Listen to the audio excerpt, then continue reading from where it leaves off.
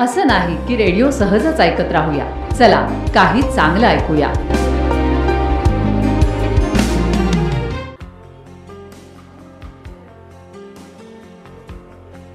संकट समयी जो मित्र धावून येतो तोच खरा मित्र नाही का?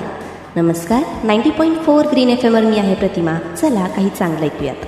एका गावाच्या हद्दीबाहेर एक मोठं वडाचं झाड होतं. त्या झाडावर बरेच पक्षी घरटे बांधून राहत होते. तिकडून येणारे जाणारे लोकसुद्धा त्या वडाच्या सावलीत बसून विश्रांती घेत होते. त्या झाडावर लघुपत्नक नावाचा एक कावळा राहत होता. एकदा खाण्यासाठी काही मिळतं का हे पाहण्यासाठी तो गावाकडे उडत जात होता. एवढ्यात त्याच्या नजरेस एक पारधी जाळे घेऊन जात असलेला दिसला. ते बघून कावळ्याला वाटले हा दुष्ट पारधी वडाच्या झाडाकडे चालला असणार. म्हणजे आपल्या पक्षी बांधवांवर कदाचित संकट येणार तर. कावळा तसाच वडाच्या झाडावर परत आला. आणि सगळ्या पक्ष्यांना म्हणाला हा दुष्ट पारधी धान्य टाकून तुम्हाला जाळ्यात अडकवण्यास येत आहे तुम्ही धान्य खाण्याच्या मोहाने जर गेलात तर जाळ्यात अडकलात म्हणून समजा. पारधी थोड्याच वेळात झाडाजवळ आला आणि जाळं टाकून बाजूला जाऊन बसला. तेवढ्यात चित्रगीव नावाचा कबुतरांचा राजा आपल्या परिवारासमवेत अन्नाच्या शोधासाठी आकाशातून उडत जात होता. त्याच्या नजरेस पारध्याने टाकलेले धान्य दिसले. तेव्हा तो लघुपत्नक त्या कबुतरांना नको नको म्हणत असताना सुद्धा धान्यावर तुटून पडले. खरं तर तो कबुतरांचा राजा अतिशय हुशार आणि चाणाक्ष पण नशिबातच संकट असल्यावर आता त्याला तो तरी काय करणार? ते सगळे कबूतर त्या जाळ्यात अडकले. बरीच कबुतरे जाळ्यात अडकल्याचे बघून पारधी खुश झाला. त्या कबुतरांना मारण्यासाठी पारधी काठी घेऊन धावत आला. त्याबरोबर कबुतराच्या राजाने सगळ्या कबुतरांना जोर करून जाळ्यासहित उडण्याचा आदेश दिला. त्याचबरोबर जाळ्यासहित कबुतरांनी आसमंत गाठला. पारधी त्यांचा पाठलाग करू लागला तशी कबुतरे वेगाने उडू लागली. शेवटी पारधी स्वतः नशिबाला दोष देत मागे फिरला. पारध्याच्या संकटातून पार पडल्याचे लक्षात येतात चित्रगरी म्हणाला हिरण्यक नावाचा एक उंदीर माझा मित्र आहे.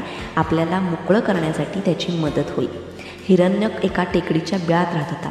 तिकडे पोहोचल्यानंतर त्यानं मदतीसाठी हाक मारली. त्याबरोबर हिरण्य धावत आला आणि अर्थातच त्याने सगळ्यांना मोकळं केलं. कधी संकट आलं तर मला जरूर हाक मार मी मदतीसाठी नक्की धावून येईन असं म्हणून तो तिथून निघून गेला. अर्थात मित्रांनो ही गोष्ट तर इथंच संपली पण खरा मित्र कसा असतो ते सांगून गेली. तो कावळासुद्धा एक खरा मित्र होता कारण त्या संकटापासून वाचवण्याचा त्याने प्रयत्न केला. त्यातूनही आपण चुकून संकटात पडलो तर आपली युक्ती कशी कामी येऊ शकते हे सुद्धा या गोष्टीनं सांगितलं. आणि त्याच्यानंतर सुद्धा जो उंदीर मामा त्यांना या संकटातून बाहेर काढण्यासाठी मदतीसाठी धावून आला ना त्या उंदीर मामाने सुद्धा खरा मित्र कसा असावा हे सांगितलं. त्यामुळे तुम्ही सुद्धा आपली मैत्री अशी खरी मैत्री म्हणून बाळगा.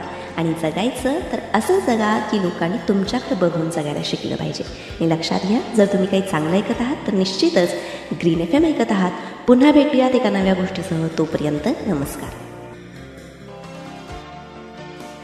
चला काही चांगलं ऐकूया. तर मी आरचे प्रतिमा तुम्हा सर्व लिस्नर्सना विनंती करते की तुम्ही युट्यूब चॅनलवर जा आणि green F M ninety point four Sangli search करा आणि सबस्क्राईब करा. आणि लक्षात घ्या आपल्या ग्रीन एफ एमचा लोगो हा दोन पानांचा आहे. तर मग पटकन सबस्क्राईब करा आणि ऐका तो माल कार्यक्रम